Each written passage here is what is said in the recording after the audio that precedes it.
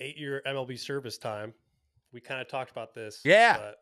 that's Well, pretty cool. Uh, so I didn't know that nobody knows that. Yeah. But you guys may have seen the videos, and I think Jomboy's posted a couple, and like Carrabis posted once when he went. What, who was it with Jonny Gomes? Yeah. So the gold card, the Major League Gold card, is like like an American Express card, but it's gold. Like I don't think it's actually made of gold. I think it's just it might be gold plated. I don't know, be. but it looks like a gold card. It's like a credit card size, and it's basically like you get lifetime tickets to ma- Major League games. Two tickets to like basically if you can walk up to a will call and say I want two tickets to this game, you hand it to them, and they give you the best tickets available.